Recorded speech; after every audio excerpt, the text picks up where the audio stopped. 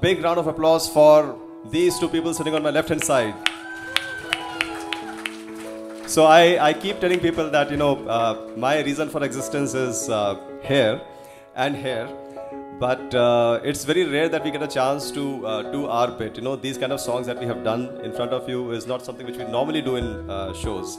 So a good audience and uh, people whom I trust is something which is my biggest uh, earning of my stay in Bangalore. So Puneet and Malvika are some are almost synonymous uh, for me in terms of music. And as Malvika says very very fondly that we take each other for granted.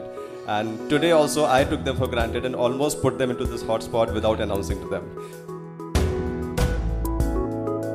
I would just like to say music in Patna, my hometown, meant uh, Sangeet Sadhana and all of our sisters going to Sangeet Sadhana together.